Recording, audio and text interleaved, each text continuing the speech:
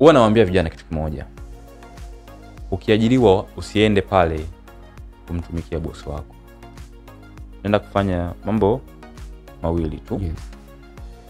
kuwa bora zaidi kwenye kitu kinachokupeleka pale Yes. na kwenda kujifunza hiyo aina ya biashara anayoifanya bosi wako full stop wanawasema vibaya sana machawa Yes. kumekuwa na wimbi la machawa Yes, yes. we know the guys wakina mwijaku wakina yes, baba levo yes. wanauza nini si maneno Yes, maneno. sasa kama mtu anaingiza kipato kwa kumsifia mtu mwingine anaingiza kipato Mm. kwa nini wewe usitumie same same modi ya mawasiliano Yeah. kuuza ujuzi vipawa na uwezo wako mitandaoni Yeah, yeah. yaani kwa nini unakubali kumwachia chawa atumie hiyo fursa watu wamsikilize azungumze Yeah, kile yeah, anachoweza yeah. na kuingiza kipato wewe umejifungia magetoni na Yeah. uwezo wako na unashindwa kuingiza kipato mimi huwa sina holidays Okay.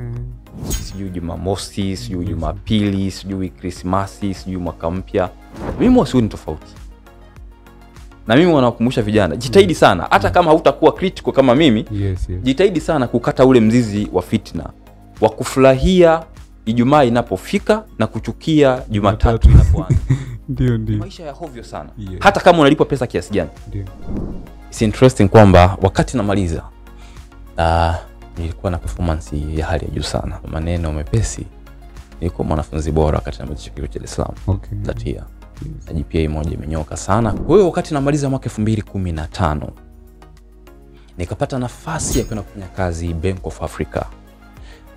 Wale jamaa walikuwa wanachukua walikuwa wanachukua intern ambao wametoka fresh fresh From from school. school ya kwa hiyo nikapata hiyo nafasi nikaenda. Kwa hiyo maana yake nilitoka kwenye Pamba Yes. by nilikuwa nafanya Olam Tanzania Limited. Okay. Kwa hiyo nimetoka kwenye shughuli za Olam mwezi wa tisa nikaanza Bank of Africa.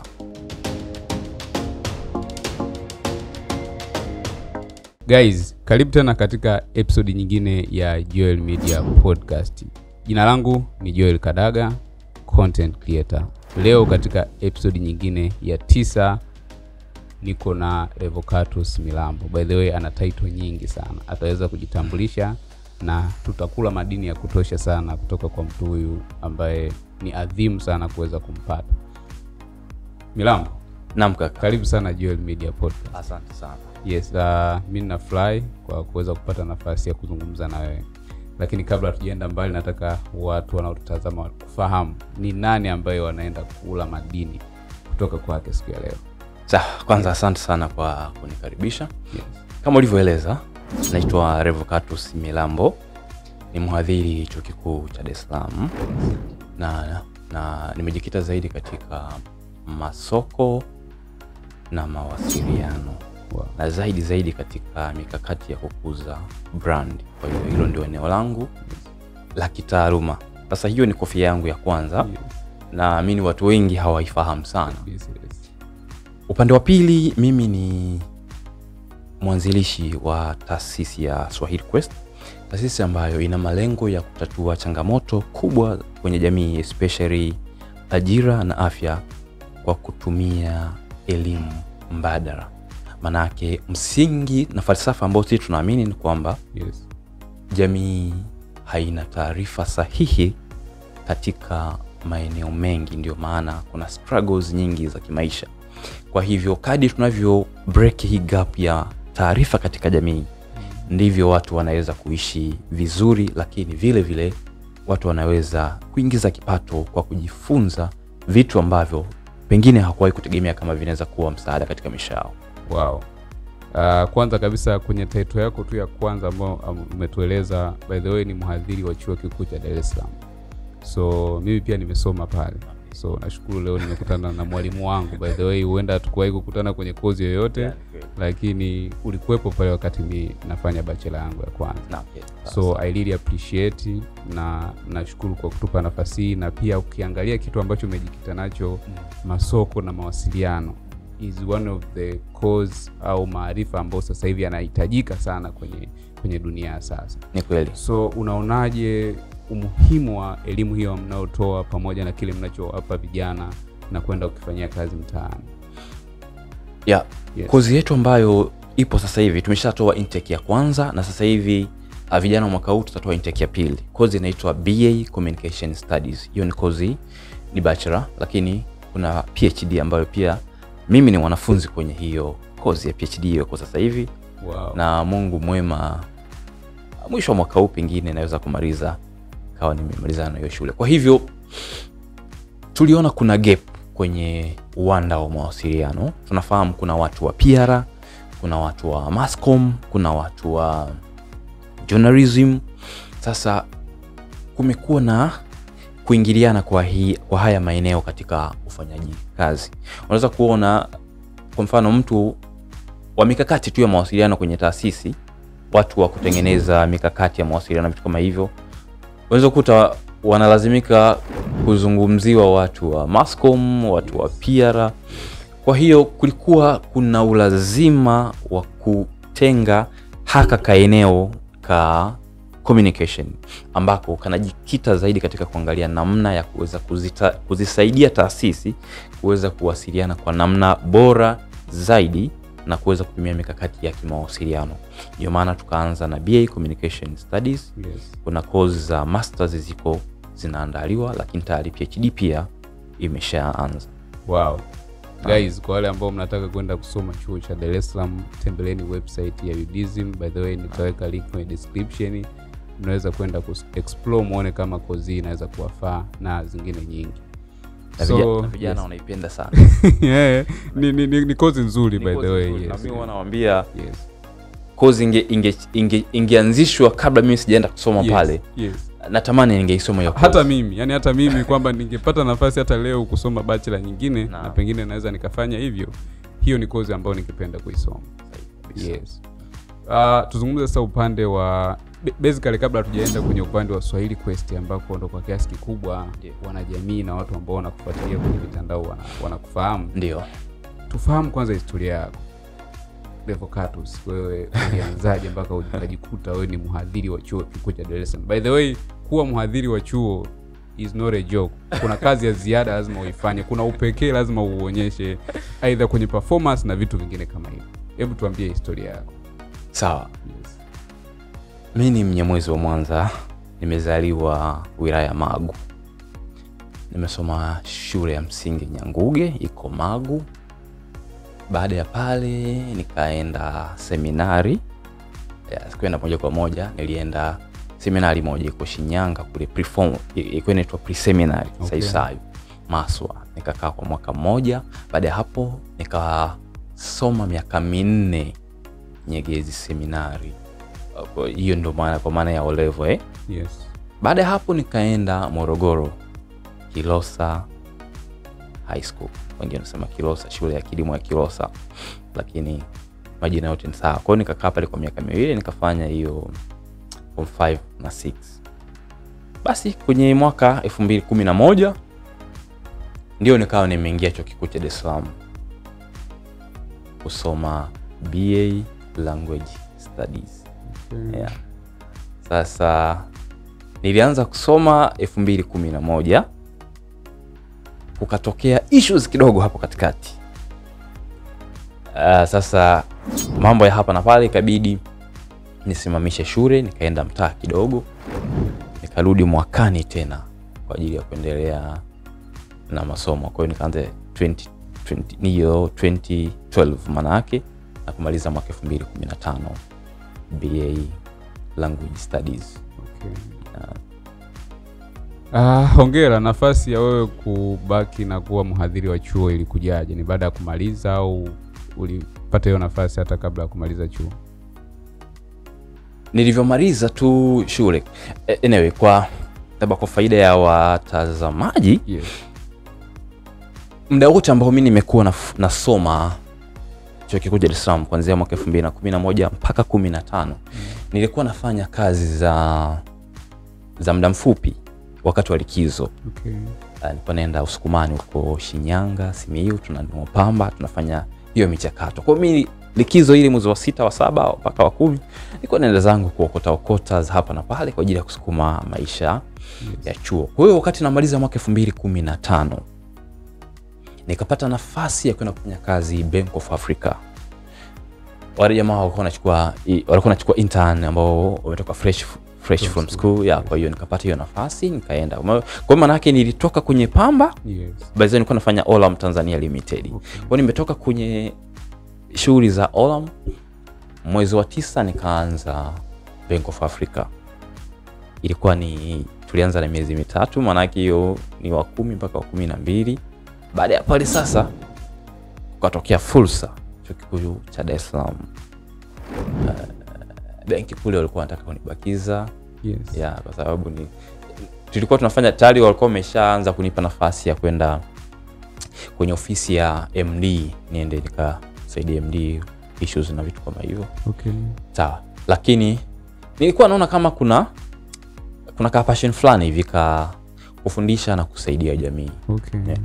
Kwa hiyo fursa ya kurudi chuo kikuu cha Dar es Salaam ilivyokuja uh, sikuwaza mara mbili mbili yeah. uliniuliza Yes. nilipatapataje ama niliwezaje kuingia Yes. It's interesting kwamba wakati namaliza uh, nilikuwa na performance ya hali ya juu sana Yes. Uh, kwa maneno mepesi nilikuwa mwanafunzi bora wakati namaliza chuo kikuu cha Dar es Salaam Okay. Na GPA moja imenyoka sana kwa hivyo hata waliokuwa wananitafuta ili niende nikafanya hiyo kazi hawakuwa Yes. na shaka na uwezo wangu Sure. kwa hiyo hata si kupita kwenye ile michakato michakato mingi sio interview sio nini kwa hiyo nikapata hiyo fursa nikaenda nikaanza kazi mwezi wa kumi na mbili mwishoni mwaka elfu mbili kumi na tano na hapo ndipo karia yangu chuo kikuu Dar es Salaam ilivyoanza mpaka sasa Wow. Bwana hongera sana. Hongera sana kwa hatua hiyo ambayo wengi wanaoitamani kuipata na umeweza kuipata na I'm sure unaitendea haki kwa kile ambacho una deliver kwa wanafunzi yeah. na kwa sababu sisi hatuko chuo lakini yeah. vile ambavyo tunavipata mtaani vile ambavyo unatufundisha kupitia mitandao yako YouTube channel yako zaidi ya wafuasi elfu mbili sasa tunapata madini mengi sana nashukuru yes hongera sana asante sana Joel Uh, tuzungumze kuhusiana na Swahili Quest. Hii wazo lilikujaje na ilianzaje na actually mnafanya nini zaidi? sawa Yes. takurudisha nyuma kidogo Yes. wakati niko Bank of Africa mwaka huu elfu mbili kumi na tano Yes. nikawa nawaza kitu cha kufanya nje na ajira kwa hivyo nilivyohamia chuo cha Dar es Salaam mwaka 2016 nikapata idea ya kuanzisha marketplace na nifanikiwa kuanzisha marketplace ambayo ilikuwa inaitwa ihuduma mm. ambayo ilikuwa ina lengo la kuwakutanisha watoa huduma ndio. na walaji Na yeah, ya tukapambana tengeneza website nzuri yeah. mshikaji wangu mmoja anaitwa dio anaitwa Francis dio Mm. bila shaka atakuwa anafuatilia Yes, yes. ya tukatengeneza website nzuri tukawekeza kwa hiyo ikaanza kurani tukaanza kufanyia matangazo na vitu kama hivyo sasa kuna vitu vingi sana nijifunza wakati tunaifanya hiyo kazi ya hii huduma kwa sababu nilikuwa nafanya kitu lakini kwa wakati mwingine nilikuwa naona ni kama ni kama moyo wangu haupendi sana hicho kitu Yes. kwa hiyo hata utendaji kazi pengine Mm. kuna wakati ilikuwa haifanyi vizuri kwa hivyo wakati nasoma masters nchini kenya ile wakati wa corona ile 2020 tuzungumzie 2020 ile Yes. ikafika kipindi nikawa kwenye, tafaka, kwenye tafakuri kubwa sana Yeah. hiki kitu ndicho ambacho nitakifanya kwa muda mrefu kwa sababu ilikuwa inakula pesa dio, dio. kuliko inachoingiza yes. alafu pia Yes. yani unaona kabisa moyo ni mzito moyo ni mzito katika kufanya hivyo vitu kwa sababu you just can't be creative kwenye kitu ambacho hauna moyo yani hauna passion inacho, Yes. haiko iko chini. Kwa hiyo kwenye mwaka elfu mbili na ishirini ilibidi nikubaliana na ukweli kwamba despite ukweli kwamba ilikuwa ni platform ambayo kwa vyovyote vile ningekaza ingeweza kufanikiwa kwa sababu ilikuwa kwenye marketplace zilizopo sasa hivi hapakuwa na kitu kama kile ambacho kilikuwa na upekee wake lakini kutoka moyoni nilikubaliana na matokeo kwamba siwezi kuendelea kuifanya kile kitu nitapoteza muda wangu bure. Inabidi nijisome zaidi ndani nijitafakari zaidi ndani. Na baada ya kuwa nimeachana na idea ya hii huduma kwamba sasa i will no longer work with this project. Yes. Ndipo nikapata msukumo wa ndani wa kutumia ujuzi maarifa na kila kitu ambacho niko nacho kuweza kuisaidia jamii kwa sababu Yes.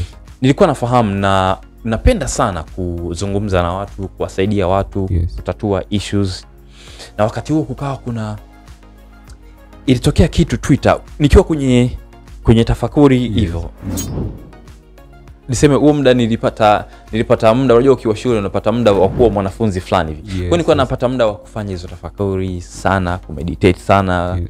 kufikiria kusudi nikakutana na kesi moja ilikuwepo twitter mwaka 2019 2020 Yes. kuna bwana mmoja aliandika barua ya kujiua kwa sababu ya changamoto za ajira amemaliza chuo Yes. haoni future na vitu kama hivyo na hizo changamoto zimekuwepo nyingi sana sasa Yes. naji, najiambia kwa nini mimi ambaye nina nafasi ya kuweza kuwashika mkono hawa watu hata kama sio kwa kuwapa mitaji yes. lakini kuwafungua akili akili na kuweza kuwashawishi kuanza kufanya kazi pasheni zao vipaji vyao kutapini kwenye vitu ambavyo hawajawahi kuvifikiria na kuweza kutengeneza maisha na hapo sasa ndipo nilikuja na perspective mpya ya maisha yangu kwamba mimi nitatumia elimu mbadala sijui kama hiyo terminology ipo kwenye watu wataalamu wa lugha Yes, yes. lakini sisi tunaita hivyo elimu mbadala maanake ni kwamba tunaangalia ni kwa namna gani tunaweza kutatua changamoto kubwa kubwa kwenye jamii kwa kutumia elimu mbadala maanake tunatumia elimu mbadala lakini zaidi ni kutengeneza mauzui na kuweza kuwafikia watu yes. kwa hiyo sasa tunajikita katika ajira Yes. na afya na hapo ndipo ilizaliwa swahili Quest, west. Kitu ambacho nikilala nikiamka kiko kichwani kiko kwenye moyo wangu. Wow. kwa hiyo hata watu wanaweza kunifuatilia ni kwa sababu nakifanya hicho kitu Yes. kutoka ndani ya moyo wangu. Ndio maana nachapa kazi kuanzia muda huo mpaka sasa hivi. Wow. Of course maeneo hayo mawili ni very sensitive, afya pamoja na ajira, kipato. Watu wanataka watengeneze kipato, wafanye maisha. Tutazungumza hapo kwa upana zaidi. Sawa, Kwa sasa tuanze kwenye kipengele cha afya. sawa. Uliona nini au ni maeneo gani ambayo uliona kuna changamoto kubwa sana kwenye afya na ukaona umejikite ujikite nayo? Sawa. Yes. nafurahi sasa hivi uh, daktari mkuu wa muhimbili Yes. anapambana sana kuelimisha jamii Yes, mkurugenzi. mkurugenzi Yes. Mohamed. Janabi yes. yes. Yes. Joel, tuna shida kubwa sana ya afya. Tuna shida ya afya na ukweli ni kwamba tatizo linaanzia kwenye elimu na mindset. Shida nyingi za kiafya ambazo watu zinawakumba ni kwa sababu ya ukosefu wa taarifa sahihi. Taarifa nyingi za afya zilizoko mtandaoni zinapotosha na ni za uongo na zipo kwa maksudi Yes. na kimkakati kwa sababu yes. kadri mwanadamu anavyougua ndivyo makampuni makubwa yanavyozidi kutengeneza pesa yes. na kuingiza kipato utamweleza mtu ukila hiki ni kibaya ukitumia hiki kitakuathiri afya yako atakwambia mbona mbona kwa mfano mbona tunakunywa soda mababu zetu wamekunywa mababu zetu wanakula ngano enzi na enzi. Haya mafuta mbona tunatumia enzi na enzi. Yes. vipi tena mbona kama mnatuchanganya? Ukiuliza enzi na enzi enzi gani hizo anazozungumzia Nakupa mfano mmoja. Kilimo kama kilimo hiki kilimo tunachokizungumzia kimeanza miaka elfu moja miaka elfu kumi na mbili baada ya mwanadamu kuwepo duniani. Maanake sio kitu cha asili moja kwa moja tukizungumzia wale wanadamu wa enzi za ujima zile nini zama za mawe Mm. wale ambao walikuwa hawaishi katika permanent settlement Yes. walikuwa hawalimi lakini walikuwa naishi muda mrefu Yes. kwa afya kwa nini kwa sababu walikuwa wanakula vyakula vya asili Yes. walikuwa wanakula vitu vya makondeni wanakula matunda Yes. wanakula wanyama yes. kwa kuwakimbiza sawa Yes. Na ili umpate mnyama ni lazima ufanye mazoezi uende milimani utafute sijui ni swala si ni sungula umkimbize sana Yes. maana yake kitendo tu cha kutafuta chakula ilikuwa ni mazoezi tosha Yes. sawa eh? Yes. kwa mtu anakula matunda anakula nyama Yes. anakunywa maji maisha yanaendelea kula mayai labda wanavua ya vitu kama vitu kama hivyo hivyo vyote ni shughuli yanaendelea yes. sasa hivi mtu anapiga soda mtu anapiga ugari mtu anapiga energy mtu anapiga machipsi mtu anapiga mabaga. Afanye mazoezi huyo mtu. Yes. kwenda kazini anapanda usafiri anaenda kazini. Ofisini anapanda elevator anapanda lift anaenda ofisini. Anakaa muda wote akitoka hapo anarudi nyumbani analala. Ndio maana magonjwa yamekuwa ni mengi sana. Watu wana vitambi sio wanawake sio wanaume. Changamoto sijui mambo ya asas mambo ya ugumba ya hormone imbalance na vitu kama hivyo. Kwa shida ni kubwa sana. Ndio maana nikiwaona uh, daktari mkumbo nikimsikia janabi anaelimisha namna ya watu kuishi kwa kuzingatia lifestyle na kula vizuri kuweza kutibu magonjwa Yes. nafarijika sana. Kwa sababu kuna madaktari wengine ambao wana hizo elimu za darasani lakini ukweli ni kwamba hawatusaidii sana jamii. Takupa mfano mmoja. Yeah. wiki mbili zilizopita alinitafuta mzee mmoja wa miaka mingi stini hivi. Ana shida za nguvu za kiume. Ananieleza hiyo shida amepata miaka mingi iliyopita zaidi ya miaka kumi kurudi nyuma. Na alishauliwa na daktari bingwa Yes.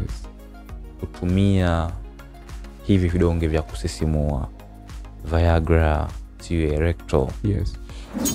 amevitumia akaendelea kuvitumia Yes. vikawa wajua vio ukivitumia vinakupa vinakwambia huko vizuri yani Yes. Yes. uko- vizuri kwa hiyo unaweza kuperform kwa muda fulani hivi kwa mfano una, maisha yanaendelea uh, baadaye nakata tena ukihitaji tena unavitumia lakini ukivitumia kwa muda mrefu hata wenyewe vinashindwa kukusaidia Yes. Kwa hiyo huyo mtu amefikia hiyo stage. Tuko naye kwenye program tunamsaidia kuweza kufufua mwili wake kufufua seli yake ili mwili uanze kufanya kazi tena. Kwa hiyo hili ni moja ya eneo ambalo lina changamoto kubwa sana. Sasa imagine viagra hizi erecto ni vidonge vya hospitali.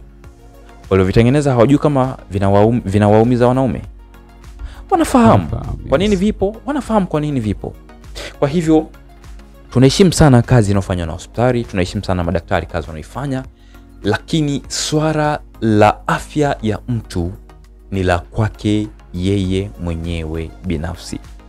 Kwa mfano nimekueleza sisi tunatatua changamoto hizi kwa elimu peke yake. Yes. hatuuzi dawa yes. wala nini. Yes. kwa hiyo watu waga wananitafuta kwa mfano bwana nimesikia wewe ni mtaalamu unasaidia watu kusaidia kujitibia nguvu za kiume. Naambia ni kweli.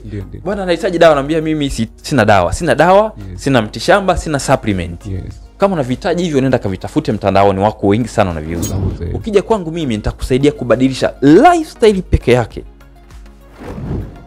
Uache pombe uache sigara uache soda uache energy uache kunywa sukari uache kula mara tatu kwa siku uanze kula mara mbili na ukiweza ule mara moja na ufunge mara kwa mara kwa sababu mwili wa mwanadamu unafanya vizuri zaidi ukiwa na chakula kidogo hapo mwanzo nilitoa stori ile ya wale wazee wa Yes, zamani yes, wale yes. wenyewe wale enzi za ujima wale enzi za zama za mawe walikuwa wanakula mara moja mara mbili na miili yao ilikuwa inakuwa slim yenye afya Yes. Ni kwa sababu mwili wa mwanadamu hauhitaji chakula kingi kama ambavyo tunahamishana utaenda hospitali utaambiwa ah, una asas ni kwa sababu ulikuwa na hauli kwa muda. Kwa hiyo kula mara kwa mara. Kula kidogo kidogo kula mara nyingi. Okay. It's not true.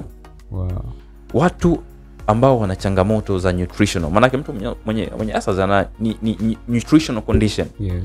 lazima abadilishe mfumo wake wa chakula. Kwa mfano kwenye asas lazima ache kula vyakula vya kukaanga ache sukari ache soda ache hayo machipsi mabaga ache ngano mwili utaanza kujirefresh wenyewe kujitibia wenyewe na kuweza kuwa vizuri mtu anasumbuka na nguvu za kiume lazima abadilishe mfumo wake na changamoto kwenye mfano kwenye hili la nguvu za kiume Yes.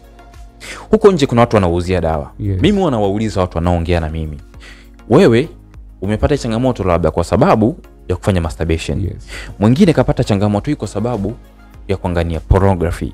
Mwingine kapata kwa sababu ana tatizo tu la kisaikolojia. Mwingine kwa sababu ya madeni sio na nini changamoto za maisha. Stress. eh, stress msongo. Mwingine kapata kwa sababu mke wake amemnyang'anya ufalme nyumbani na anashindwa kuperform kwa sababu ili mwanaume aweze kuperform ni lazima mwanamke awe submissive sasa kuna wanawake wengine unakuwa na kaubabe fulani hivi kama wamama na nini mwanaume anatawaliwa au mwanaume awezi kuperform mwanaume ili aweze kuwa sawa na mke wake ni lazima mwanamke awe submissive na mwanaume awe katika hiyo level ya kwamba he is a king he is a leader sasa Okay. unakuta wanawake maelezo mengi niwahi kusikia Dr. Mauki anaeleza Mm. namna ambavyo wa, wa, wanawake wanaathiri wanaume wao katika performance unakuta maelekezo mengi. Ah, fanya hiki acha hiki sijui nini usi ah, fanya ah. mwache mwanaume ajitawale mda wa tendo mfanye mshirikiane. Maelezo mengi vitu vingi ina mwalimu mwanaume kisaikolojia. Kwa sababu mwanaume ni tofauti na mwanamke. Mwanamke pengine anaweza asiwe anataka ama anataka bado akafanya tendo lakini mwanaume eh, ukiwaza tu kitu tofauti. Eh, kila kitu kinaanza upya. Una unaanza upya. Ndio maana ni muhimu sana kuweza kuwa na akili ama mindset ambayo iko sawa. Sasa watu wanaouzia dawa wanauzia supplement. Mtu ambaye amepata hii changamoto kwa sababu ya masturbation yes. atauziwa supplement hiyo moja. Mtu ambaye kwa sababu ame, amepata kwa sababu ya pornography atauziwa supplement moja mtu ambaye amepata kwa sababu ya ulevi atauziwa hiyo supplement moja. Haiwezekani hawa watu wakatibiwa na kitu kimoja na kwa sababu nguvu za kiume sio ugonjwa ni ka condition tu ambako kanatokea. Mm. sawa. Kuna watu wengine wanapata changamoto za nguvu za kiume kwa sababu ya magonjwa kama kisukari presha asas bawasiri. Si unaona? Yes. Tezi dume. Yote hayo yanaleta hiyo changamoto ya nguvu za kiume. Alafu mtu anakwambia ukitumia hii unapona. Manake tuna shida ya elimu kwenye jamii zetu. Ndio maana wanaume ambao wanapata nafasi ya kufanya kazi na taasisi yetu ya Swahili Quest na moja kwa moja kufanya kazi na mimi inawasaidia kubadilisha maisha yao kwa ujumla ya kiafya. Unaelewa fika kwamba nguvu za kiume sio swala tu la kuambiwa ni hivyo. Kuna mfumo wa damu yes. kuna, mifu, kuna, kuna, kuna mishipa mm, kuna saikolojia kuna homoni. Lazima uelewe ni kitu gani ambacho umekwama ambacho kimekufikisha hapo na uanze kukifanyia kazi. Yeah. tofauti na hapo utapoteza pesa nyingi sana. Na nikwambie tu Joel yes. moja ya biashara ambayo inawaingizia watu mamilioni ya shilingi ni nguvu za kiume. Wow. Na kwa sababu yes. ni ujinga na ukosefu wa elimu sahihi kwenye jamii. Kwa hiyo ujinga wa watu ni mtaji wa watu wengi ndio maana sasa yes. sisi kama swahili quest tunakuja Yes. na perspective ya kutumia elimu kwenye kutatua changamoto. Changamoto, yes. Mtu dawa hatumuzii mtu supplement. Kwa hata watu ambao tunawasaidia kwenye vitambi Yes, sikukata yes, vitambi yes. kupunguza unene. We don't say them anything. Tunafahamu fika. Ili mtu aweze kupunguza uzito ni lazima ilo jambo liwe taratibu na ni lazima apunguze baadhi ya vyakula kwa mfano vyakula vya wanga vyakula vya sukari yaani unajua bwana joel uki- ukivisoma hivi vitu viko Yes. very obvious lakini watu hawajui.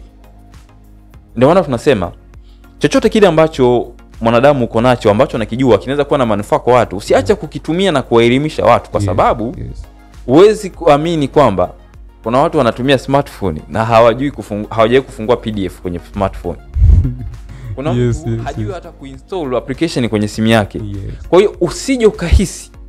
Maarifa ulionayo ni maarifa madogo. ulionayo ni Mm. madogo ama kila mtu anayajua. Wow. Na huo ndio msingi wa swahili quest. Na ukisikia neno lenyewe swahili Quest, yes. quest maana yake tunatamani watu waanze kuwa na fikra za maisha yetu kama waafrika kama watanzania watu tuwe na fikra za kuweza kubadilisha maisha yetu tofauti na mitazamo ambayo tumelisi kutoka kwa wakoloni na wazungu. Kwa hiyo kwa mfano kwenye masuala ya afya kwa mfano yes. ukiliseti tu kwa kurudi enzi ambazo mababu zetu walikuwa wanakula magonjwa yote yanakimbia. Eh, okay. Kwa hiyo kwenye afya kwenye ajira vyote hivyo kwa mfano kwenye perspective hii ambayo tunaitumia tunaamini kadri mtu anavyokuwa na taarifa sahihi yes.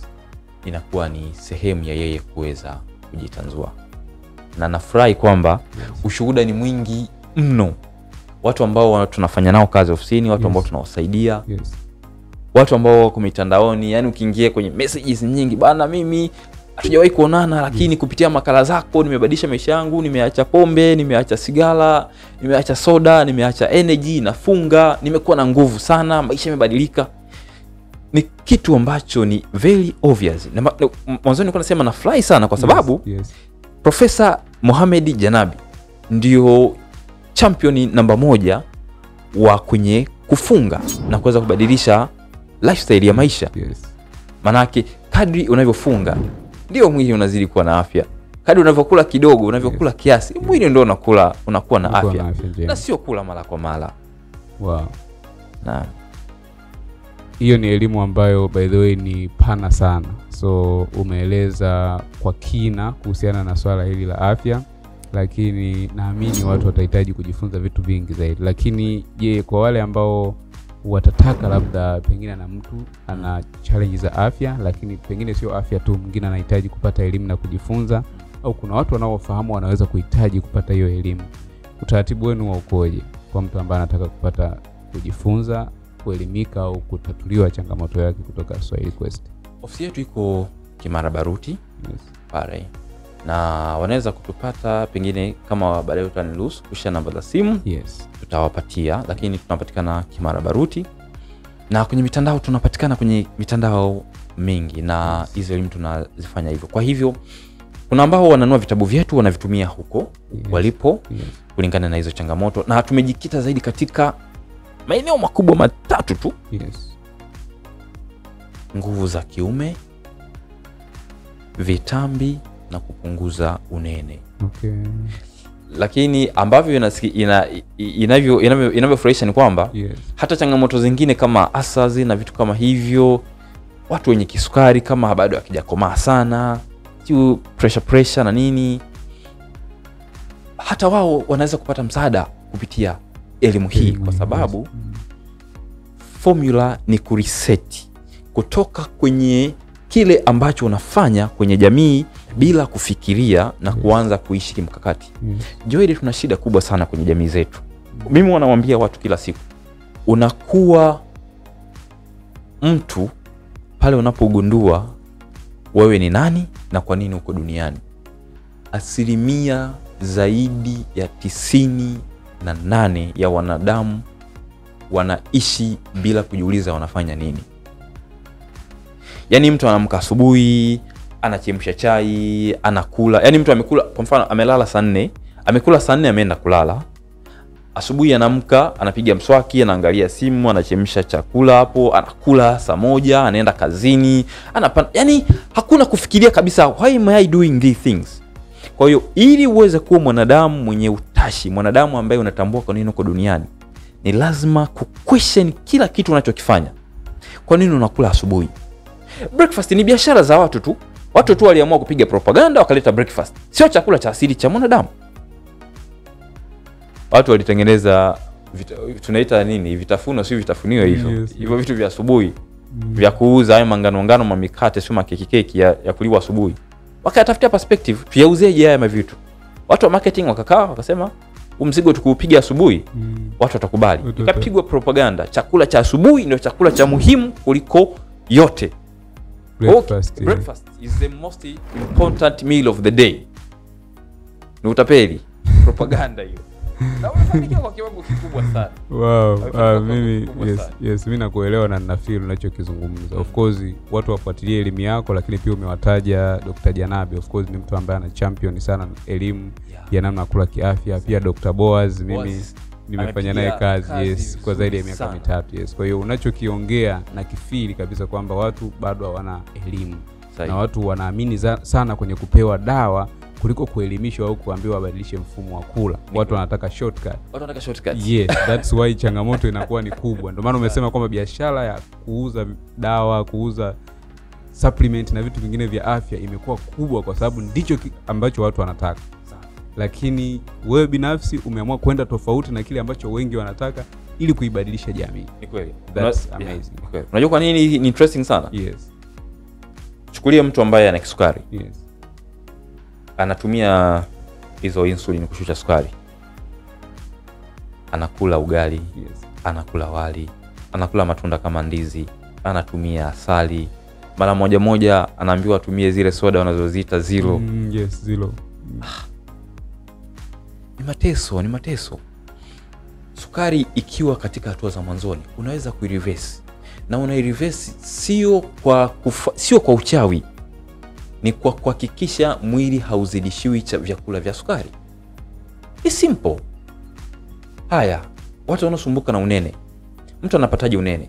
Mtu anapata unene kwa sababu sukari inazidi mwilini inaenda kuhifadhiwa kama mafuta. Eh? Ukila ugali mlima ukila wali mlima ukila mikate yako hiyo ene, wanga kidogo inatumika kuzalisha energy. Sawa. Afu inaobakia inahifadhiwa mwilini kama mafuta. Ndio maana mtu anajinenepea. Okay. sasa hicho unaenda, unaenda watu wakuuzie supplement ili upungue. Mtu anaenda kukuuzia supplement laki tatu anakupa unameza unatulia unatulia. After two months unarudi kwenye unene wako kwa sababu hujabadilisha chochote na wakati hizo supplement unazomeza maybe ni madini au ni vitamin ambazo zinapatikana kwenye vyakula ukila nyama ukitumia mafuta mazuri ukila mboga za majani hivyo vitu unaweza kuvipata uko sahihi kabisa sasa ndio maana tunasema yes. mtu yoyote anayetaka kupunguza uzito Yes. mtu yoyote anayetaka kukata kitambi Yes. Mtu yote anataka kujitibia nguvu za kiume. Na changamoto zingine hizo kama asa zina vitu kama hivyo sijui una sukari una presha jifunze kwanza namna ya kuishi na vyakula vya asili kuweza kujitibia. Ujue kabisa hiki chakula kinaenda kuongeza tatizo hiki kinakusaidia kutibu hiki hakina madhara. Ukiweza kuwa na hiyo elimu hakuna changamoto ya ugonjwa ambayo itakusumbua sana kwa sababu elimu ndiyo kila Kitu. kitu. Wow. Um, tuzungumze kwenye kipengele kingine ambacho ni ajira. Yes by the way wewe ni mhadhiri wa chuo kikuu. Kila mwaka mnazalisha maelfu ya magraduate ambao tunawaona UDSM wanafurahia baada ya kumaliza. Of course wamefanya kazi kubwa. Yo. lakini challenge kubwa iliyopo kwa sasa ajira zimekuwa chache Mm. ukilinganisha na idadi ya watu ambao wanamaliza Ndio. so hii changamoto unaionaje na nyinyi pia mnaiadres vipi kama Swahili Quest swahili quest tuna pambana kuhakikisha tunawafikia vijana wengi yes zaidi na malengo yetu ni angalau tuweze kuwafikia watu milioni moja duniani kote tuweze kugusa watu milioni moja kwenye afya na Yes. Ajira. kwa hiyo hiyo ndio vision yetu kubwa. Kwa hiyo kwenye ajira sisi tunaamini katika mtu kutumia kitu anachokiweza kuweza kutengeneza maisha yake. Kama umesoma ukapata ujuzi kutoka shuleni yes. unaweza kuutumia wewe mwenyewe bila kuajiriwa na mtu. Yes. You are good to go. Ni kitu ambacho tunakusaidia namna ya kuweza kufanya. Sasa sisi ambacho tunakifanya tunawasaidia watu kutumia vipaji ujuzi talanta zao ama uwezo binafsi. Utakubaliana na mimi joel? Yes. Kila mwanadamu aliyeko duniani hapa ana kitu ambacho wewe ukijui. Kila Sure. mwanadamu anaweza yes. kukufundisha kitu. Sure. Navalkant ana, anasema kwamba kwa level zilizopo duniani kwa sasa kila mtu anaweza kuwa na biashara yake. Yaani inawezekana kabisa katika kipindi watu wote waliopo billions of people walioko duniani Yes. kila mtu akawa na biashara yake. Na inawezekana yes. 100% kwa sababu kila mtu ana ujuzi ana kipaji ana taranta ama ana uwezo tu fulani ambao anaweza kuutumia. Wewe unaweza kuwa na uwezo wa kusaidia watu kutumia whatsapp na telegram. Yes ukaondoka na kijiji huko kapiga ukapiga hela ukashangaa. Yes. Eh? unaweza kuwa mtaalamu tu wa kukata bustani yaani ukikata bustani kila mtu anashangaa pale jamaa nani amekata hapa? hapa? Yes. Unaweza kuwa tu ni mchoraji mzuri kabisa. Unaweza kuwa ni makenika. Kuna dada moja anaitwa mona lisa. Yupo instagram anakimbiza. Yes. diko by Mona Lisa. Yes. ni mpishi. Yes. anatengeneza content za mapishi. Amekuwa influencer mkubwa. Yes. Unataka kuniambia Mona Lisa ndio anajua mapishi kuliko wanawake wote Tanzania nzima No, kuna watu wanapika ni zaidi. wangapi wanaingiza kipato kwa kutumia mapishi wachache Yes. manake hicho ndicho ambacho tunawafikishia vijana kwa hiyo tunachokifanya sisi tuna program zetu tuna program yetu ambayo tunaita uchumi wa kidigitali manake sisi tunachokifanya Yes. ni kumfundisha namna ya kuweza kutumia ujuzi wake kuweza kuingia kwenye mitandao kutengeneza content kuwafikia watu walengwa wake na kuweza kutengeneza huduma zake na kuweza kuziuza kwa watu. Kwa tuna program ambayo tunaita uchumi wa kidigitali. Kwa mfano sasa hivi kuna vijana ambao wameanza wiki iliyopita intake iliyopo sasa hivi kuna vijana kama kumi tunafanyia coaching. Okay. ya tuna vijana ambao wengine wako ni madaktari wengine wanasoma hawajamaliza. Kwa kila mtu ana vitu vyake. Okay. mwingine ni mwalimu. Sasa tunataka watu wajifunze kutumia leverage sema leverage pengine ni neno ambalo mtu anajiuliza leverage ni kitu gani Yes, yes. kwenye maisha ni lazima kujifunza kuzalisha kidogo na kuingiza zaidi Yes. wewe bwana joel una website yako unauza kozi huko mtandaoni. Yes. umelala hapa. Mtu anaingia kule anajisajili anapiga mwamala wewe joel umelala hapa. Yes. ama, ama wakati huu ambapo tunafanya hiki kipindi. yes. mtu anaingia kule kwenye website analipa anaendelea hiyo ni leverage. Internet ndiyo leverage namba moja duniani. Unazalisha mara moja unalipwa milele mimi kitabu ambacho nakiuza cha tiba za kudumu na nguvu za kiume. Nimeandika mara moja. Moja. na interesting ni kwamba nilikiandika kitabu mwaka 2021 Yes. afu nikakichukulia poa. Nikakiacha tu kimekaa kimetulia. Nimeanza kukiuza mwaka 2023 mwaka jana. Na nimeshauza nakala nyingi Mm, na ushuhuda wa matokeo ni makubwa makubwa mno. Nimeandika imeandika mara moja moja, yes. kurasa 76 Wow. tu. Yes. Lakini kinabadilisha maisha yeah. ya watu. kila kicha na ni pdf hiyo ukumbuke Yes, yes. imeandika mara Mara moja lakini nauza unauza milele. Yes. umezungumza hapa na amos nyanda Yes. mtaalamu wa copywriting Yes. ameandika vitabu vingi sana Yes. kwenye kuuza ameandika mara hii Mara moja, yes. anauza kila siku Anatengeneza pesa. sasa hii ni, ni fursa ambayo kila mtu anaweza kuitumia Yes. natamani sana watu tuanze kubadilisha perspective za maisha mm? Yes. ndio maana huwa nasema huwa nawaambia vijana ambao tunafanya nao kazi ofisini haya madini ambayo wanafundisha natamani hata mimi niwe na yani hata mimi niki- nikiwa nayasikiliza Mm. najionea na- najionea wivu yani watu ambao hawayapati natamani hata mimi niwe nayatumia haya madini Yes, kwa sababu yes, yes. Nakupa mfano mmoja. Mwenyezi Mungu alivyoumba mwanadamu alitupatia namna nne za kuweza kuingiza kipato. Yes. Njia ya kwanza kabisa na ya chini ni ya kutumia mikono. manyowek Yes. ni lazima uweko mahari hapo uweze kuingiza kipato. kipato ndio. Wapanga wakate sehemu, ufanye kazi, wakulipe. Yes. Nenda kwenye jengo linalojengwa, kabebe zege, wakulipe. Wakulipe ndio. labda umekaa ofisini hesabu pesa sijui ni keshia andika vitu andika maripoti unafanya hicho kitu mwisho wa mwezi. Yes, yes. na hapo unafanya utafanya watakulipa mwisho wa mwezi Ndio, ndio. utafanya kazi kila siku asubuhi mpaka jioni asubuhi mpaka jioni kila siku mpaka mwisho wa mwezi watakulipa mara hii Mara moja. unaweza kulipa hapo labda sio allowance za nauli sijui vocha lakini technical unalipwa Mara moja. mara moja Yes. sasa kwa mfano mimi ni mwalimu wa chuo cha Dar es Salaam nafanya hizo nalipwa mara moja mwisho wa Yes, mwezi yes. lakini huku Swahili Quest Yes. natumia maarifa haya kuzalisha mara moja na kulipwa kila siku Kulipwa kila siku. Yes. ndio maana awe ni mwalimu awe ni mwanasheria awe ni mwasibu yeyote yule anaweza kuandika vitabu akaviuza kwenye mtandao anaweza kutengeneza kozi akazu... kwani wewe unazijua sheria kiasi gani? Unajua kwa mfano uh, askari akija kukukamata unatakiwa umuulize maswali gani? Unatakiwa ufanye nini? Unatakiwa umjulishe nani? Kwa nini mwanasheria Mwanasheria, mmoja yes, asiandike kitabu akaeleza kwa lugha rahisi hizi ni sheria labda ishirini ama fahamu labda vitu hamsini vya muhimu ili kuweza kuishi bila wasiwasi kwenye maisha yako mm? ukikutana na changamoto hii iko hivi mm -hmm. labda ili namna ili uweze kupata dhamana labda ni hivi It's a common knowledge Yes. Hiki kitabu kikiandika kila mtu anataka kukiinua yes, yes. lakini sasa mtu anataka afanye kazi alipo mwisho wa mwezi ndivyo jamii imetuprogram tuwe ndio maana nilikuwa nakwambia Yes.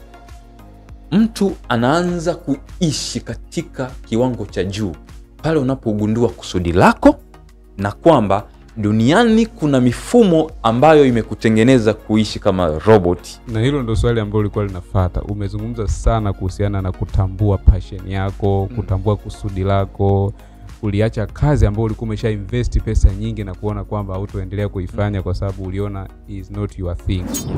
Mtu anawezaje kutambua uwezo wake au kile ambacho ni kusudi lake ambalo limemleta hapa duniani? Vizuri kabisa. Yes. Kwenye project yetu ya uchumi wa kidigitali ile ambayo huwa tunafanya coaching yes. kabla ya, ku, ya kuexpose watu ambao wanakuja kujifunza kwenye fursa zilizoko katika mtandao wanafanya kazi kubwa mbili. Ya kwanza ni kuwajenga mindset ya pili ni kuwasaidia kuweza kupata picha ama tuseme kupata clarity ya maisha. Yes. na hapo ndipo tunapozungumzia kusudi.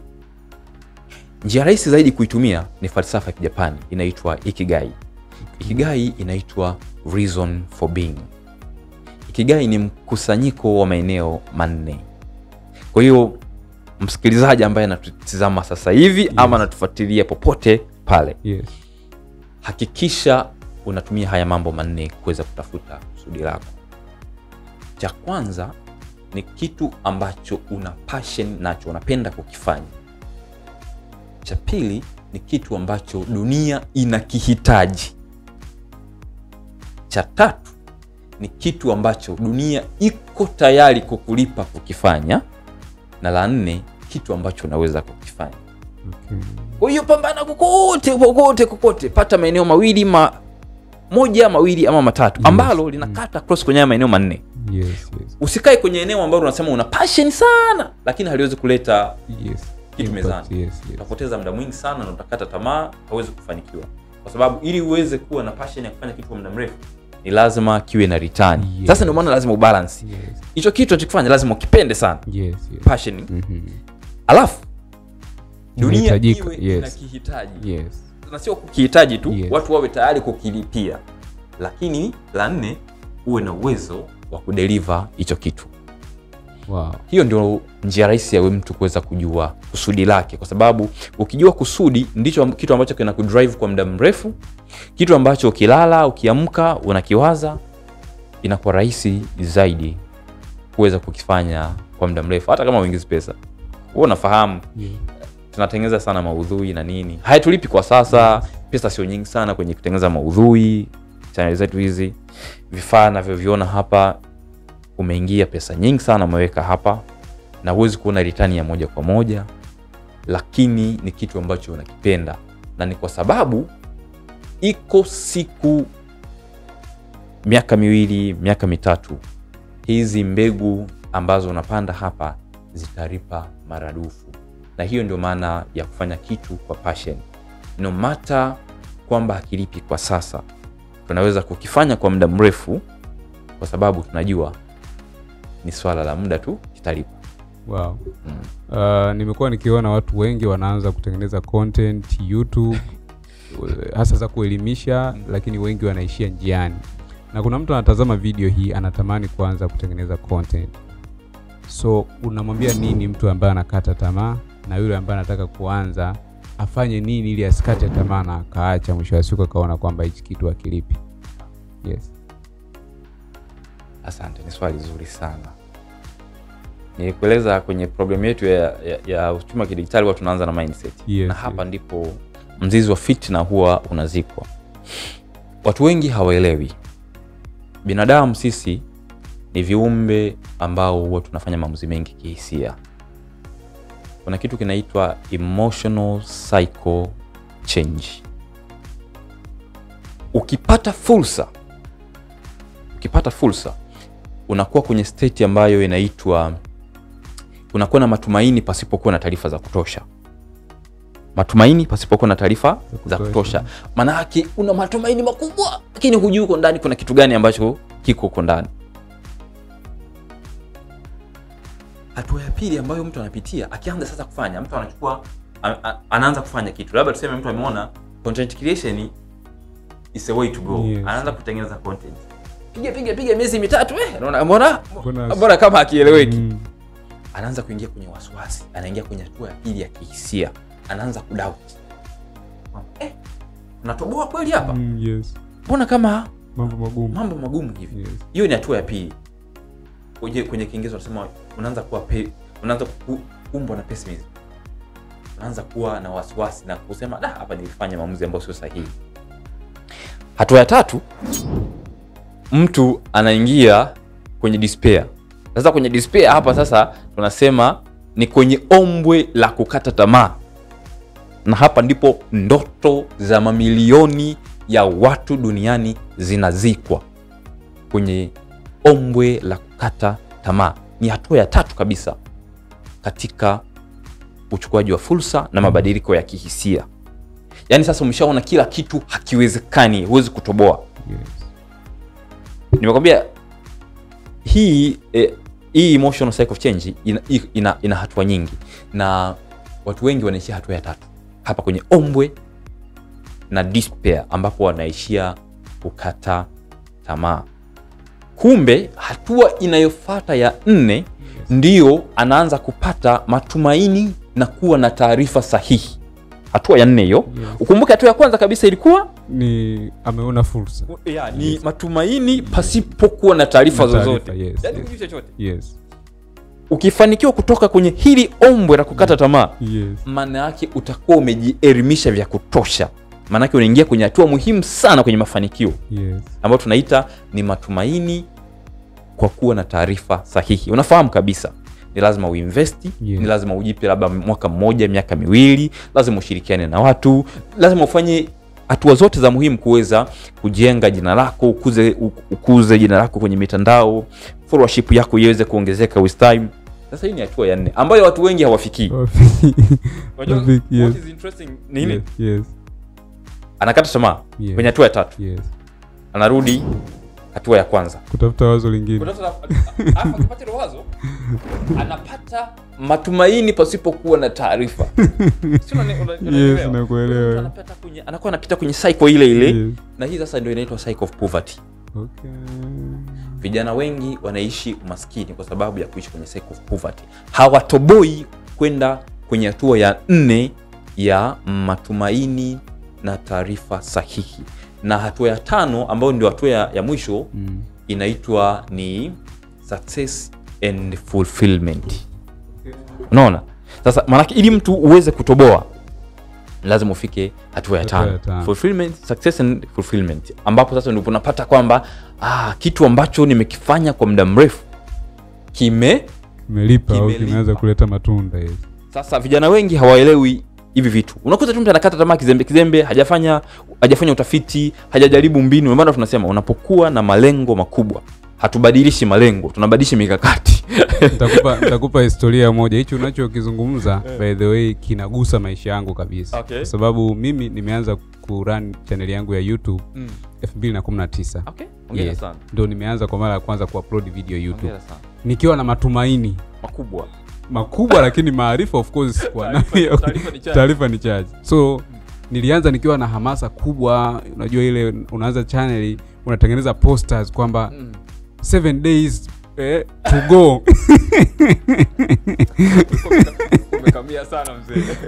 Ziko zile post mpaka leo huwa naziangalia sana. Okay. five days to go. Okay. one day to go. Countdown countdown yes kwamba chaneli yangu very soon ina, inakuwa launch cha ajabu ni kwamba siku na upload video ya kwanza nikiwa na matumaini a lot of people wataview. Unajua ni nobody cares. Nilipata view mbili na yenyewe ni ya kwangu nilitumia simu nyingine kuangalia. Nadhani kuna mtu mwingine pia wa karibu ambaye nilimtumia link.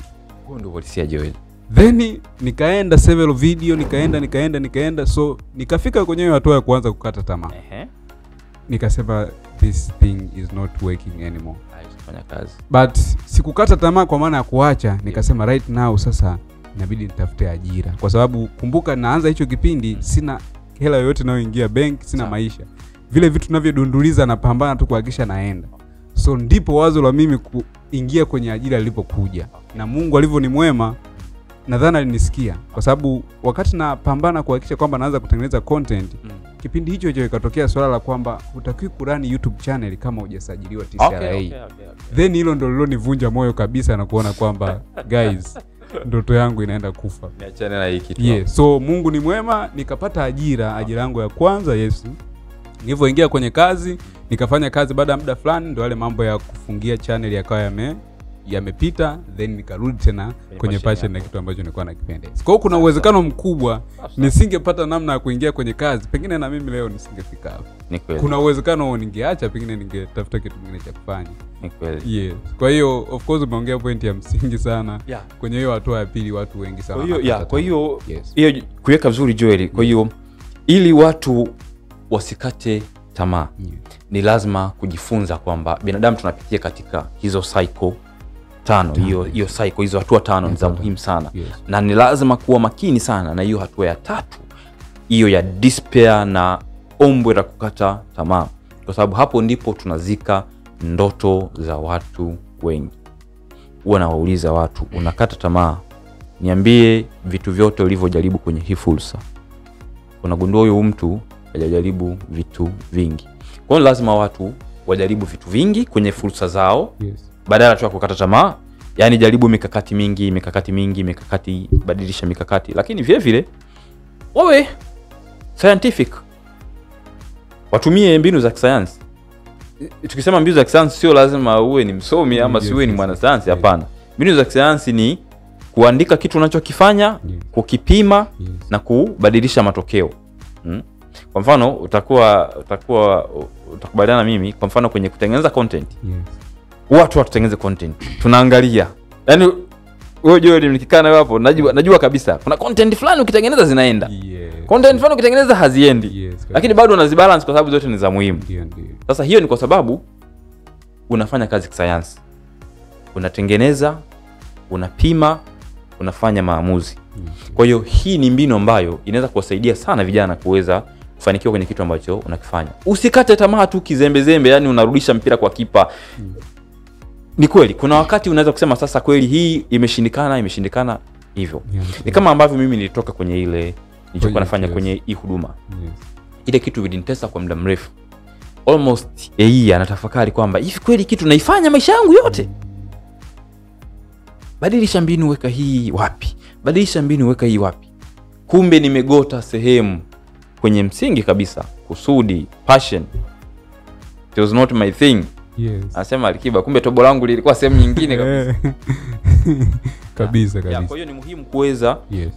kutokata tamaa bila kuwa umetumia mbinu nyingi umebadilisha umetumia mikakati mingi mm. lakini muhimu kabisa kuwa unajaribu kitu unapima hivyo unajaribu najua hii kwa mfano ya kujaribu kitu kupima na kuangalia matokeo Yes. ni kitu kikubwa sana lakini watu hawakitumii ndio. iwe ni kwenye biashara yoyote ile usifanye kazi kwa mazoea unajua kuna hiyo vitu ya kufanya kazi kwa mazoea yes, yes. yaani kwa mfano huwezi kujua haya matokeo umeyapata kwa sababu ya kitu gani Yes. kwa sababu unajaribu tu vitu vingi bila kupima Yes, yes. lakini kila kitu unachokijaribu kidogo unakipima wewe una website lazima uta, utakuwa ni shahidi ukijaribu labda kutengeneza peji mpya Yes. ukaweka kitu Yes. ukaweka labda fomu hapa ukashangaa labda conversion ikabadilika labda watu wanaokaa hapa labda watu wakawa wakifika pale wana drop kutoka kwenye website Yes. lazima ujue kuna shida hiyo Yes. ndo maana halisi ya kutengeneza Na kupima, yes, yes. na kufanya iteration kwao ni muhimu kweli kuwa na hizi perspective tunapokuwa tunafanya maamuzi na hasa vijana katika kupambana na maisha wow. Uh, moja ya kitu ambacho umekizungumza hapo nyuma ni mindset of course wataalam wanasema kabisa kwamba asilimia themanini ya mafanikio ni kichwani. Ishirini inayobaki ni utendaji. Hakika. Kwao kwa kiasi kikubwa guys hakikisha kwamba unatengeneza kwanza mindset yako kuamini kwenye kile unachokitaka then ukifata hizo hatua ambazo umeziamini na umezifanyia utafiti utafika pale unapotaka. So mirambo Naam. ni kitu gani ambo, ambacho wewe kinakupa furaha kwenye maisha? Yes. kwa kweli kitu ambacho kinanipa furaha mm. ni kugusa maisha ya watu wengine ndio maana hata wakati nabadilisha perspective ya maisha natoka kwenye huduma kuja Swahili Quest nilikuwa na naona kabisa nina potential kubwa ndani yangu naweza kuwaelimisha watu huwa nawashauri watu na ni kitu ambacho nakinjoi kukifanya kwa nini sifanye hiki kitu? Kwa hiyo uh, mimi naenjoy sana kufanya kitu ambacho nakifanya. Kuelimisha watu kufanya coaching kuzungumza nao fanya hiki badilisha hiki jaribu hiki tengeneza hiki. Ukikaa hapa unaweza kutengeneza pesa. Ukifanya hivi afya yako inaweza kuimarika. I enjoy doing that. Ndio maana mimi wanakwambia anyway kwenye maisha yangu nina vitu vya ajabu ajabu. One of, one of those ni kwamba mimi huwa sina holidays sijui jumamosi sijui jumapili sijui krismasi sijui mwaka mpya. Mimi huwa sioni tofauti. Na mimi wanawakumbusha vijana jitahidi sana. Hata kama hautakuwa critical kama mimi yes, yes. jitahidi sana kukata ule mzizi wa fitna wa kufurahia ijumaa inapofika na kuchukia jumatatu inapoanza ndio ndio maisha ya hovyo sana Yeah. hata kama unalipwa pesa kiasi gani ndio jifunze kufanya kitu ambacho kinakupa furaha Joel, umetoa mfano mzuri sana Yes. Naamini kila mtu anaweza kuwa amejifunza kwenye hicho kitu yes. ulivyoanza kutengeneza content ulikata tamaa Yes. ukasimama ukatafuta ajira yes.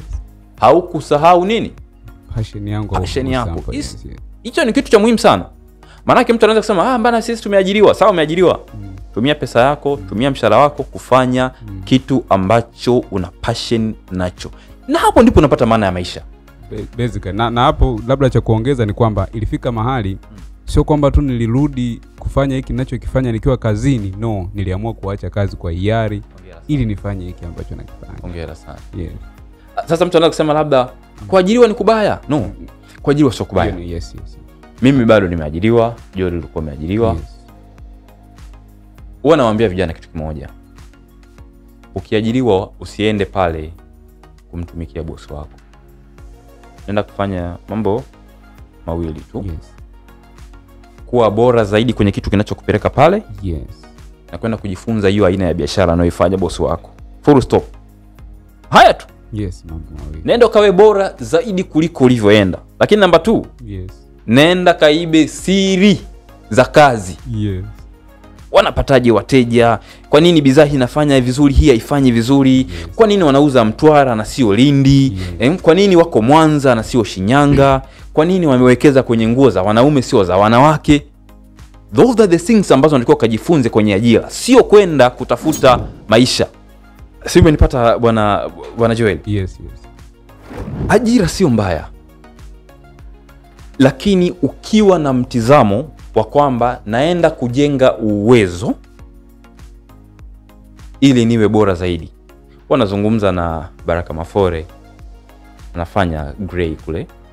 Sasa kuna watu huwa wana naona kuna watu wanashia mtandaoni wanasema usikae kwenye kampuni moja kwa miaka miwili sasa mi na baraka tuna discuss hilo Mm. mi namwambia baraka baraka amepata nafasi ya kuwa kwenye kampuni kubwa ya kimataifa Yes. kwa nini utoke kwenye kampuni kama ile ya kimataifa simply because umemaliza miaka miwili uende kwenye kampuni nyingine naambia baraka wewe pambana kuhakikisha unakuwa bora kuliko vile ambavyo watanzania wanaweza kuzani yeah. lakini vilevile vile kuvuna siri zote unaweza kutoka nazo kwenye hilo kampuni ili unapokuja kufanya kitu chako unakuwa ni bora zaidi why should we focus kwenye kutoka kwenye kampuni moja kwenda kwenye kampuni nyingine our focus should be kwenda kufanya kazi sio sehemu yoyote tu Yes. sehemu ambayo unaenda kujifunza vitu ambavyo una interest navyo kwenye maisha yako na hiyo ndio inakuwa ina maana kwa sababu wow. lengo ni ufanye kitu kwa jina lako Yes. tumetoka kwenye chaneli yetu ya swahili quest kuna video nadhani ya, ya pili kutoka mwisho Yes.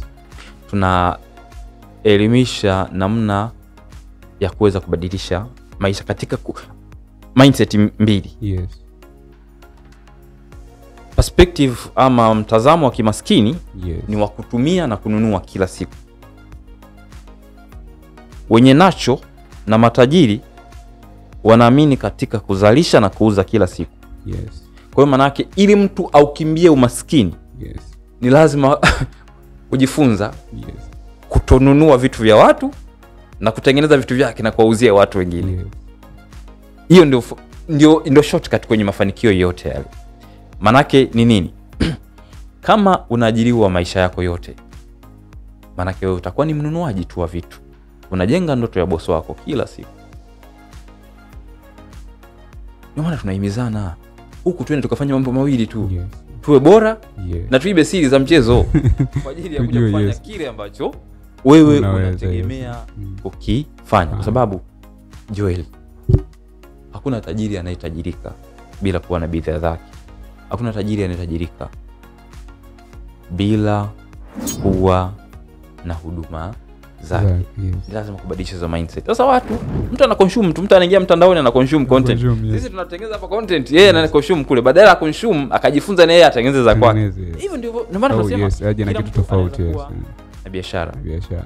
Okay um, tuzungumze kuhusiana na nguvu ya networking. Wanasema kwamba your network is your net worth. Sahihi kabisa. Yes tukirifaa namna mimi na wewe tulivyofahamiana tulifahamiana kwenye event ambayo yes ilifanyika pale posta lakini pia mafole ambayo umemzungumza katika hoja iliyopita yes naye alishaakili wazi kwamba ile meeting ndo iliyompa ajira kwenye kampuni ambayo anafanya nayo kazi mimi nilifahamiana na wewe na tumeshirikiana vingi. Mimi binafsi pia ni moja ya event ambazo zilichangia kwa kiasi kikubwa kunibadilisha mindset ya kwamba natakiwa ni jaribu kufanya vitu kwa tofauti zaidi. Yeah. so we unaizungumziaje swala la network? Mtu anajengaje network na anaweza ikamsaidia kwa kiasi gani kufikia malengo yake? Asante swali zuri sana. Yes. mtakili. Moja ya kitu ambacho nilikuwa na struggle maisha yangu ni ku network mi nimezoea sana ku, Introvert. kwa hivyo at some point ilibidi kujifunza na nimefanikiwa kwa kiwango kikubwa. Na nimefaidika sana na nguvu ya kunetwork hauwezi kutoboa kama hauconnect na watu. Kwa kijana yeyote anayetamani kufanikiwa ajifunze namna bora ya kuwasiliana na watu na kuweza kuwa sehemu ya hao watu. Ili uweze kunetwork vizuri kwanza lazima uwe na thamani fulani. Yani tutazungumza hii tutabishana sana lakini inakurahisishia sana maisha if you have value to offer. Sure. inakuwa inakuwa ni rahisi sana kwako. Maanake unamtafuta mtu ni kama vile ambavyo ulinitafuta tutengeze kikipindi yeah. ni rahisi sana. Yes. na kufahamu tumeshakutana. Sasa imajini kama tusingekutana siku ile. Yes. maanake proses yetu ya kufikia kufanya hii kazi ingekuwa bado iko mbali. Yes kabisa. Kwa hiyo the more unatengeneza connections network ndivyo unasogeza mafanikio kwako. Pesa haziko mfukoni kwako. Ziko wapi? Pesa wanazo watu mifukoni. Eh? yes. Hivi tunavyozungumza kuna kijana ana wazo la biashara linahitaji milioni ishirini tanzania hii kuna watu wangapi ambao wana milioni ishirini ambazo hazina kazi a lot watu wengi si, sijui kama si, si, sijui kama na, na, tunaanza kuijenga picha vizuri yes, eh? yes, yes, kwenye video ambayo tumetengeneza jana uh, ulikuwa unaitizama ile video yetu yes. ya mistari Yes, yes. mistari Kumi. kumi. ya biblia ambayo imeficha zimefichwa mle siri za mafanikio kuna mstari wa mwisho ambao unasema ombeni mtapewa tafuteni nanyi mtapata bisheni mlango nanyi mtafunguliwa huu mstari ukiuchukua ukaamua kuishi nao mwaka mmoja unatoka kwenye umaskini, kwa sababu chochote kile ambacho hauna wako nacho watu Yes. ukinetwork utapata wateja ukinetwork utapata mentors ukinetwork utapata watu ambao unataka kutengeneza content hauna kamera Yes. Huwezi kusema utaenda kuomba kwa kamera kwa mtu atakupa atakukodishia Yes. lakini as long as imesha connect kuna value imeshaanza ku exchange, utatumia kamera za watu Yes. utatumia mic za watu utatumia simu za watu It's always like that kwa hiyo the more you connect ndio unavuta energy ya mafanikio kwako Wow.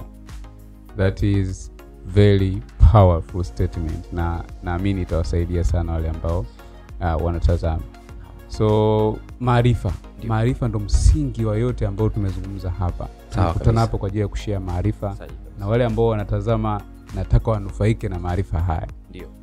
najua umesoma by the way sahizi unamalizia phd kama ulivyosema. Kwa hiyo umeshasoma vitabu vingi makala nyingi umeshatazama vitu vingi ambavyo yes ni sosi ya elimu ni vitabu gani? At least vitatu tu ambavyo wewe unaweza kumrecommend kijana yoyote. Najua vijana wengi wanajitafuta wanataka kufika kufanikiwa.